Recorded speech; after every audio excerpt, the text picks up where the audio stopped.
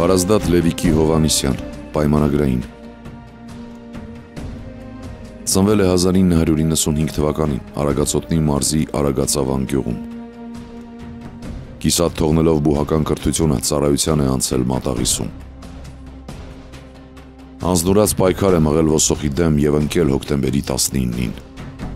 Խարվաճառում։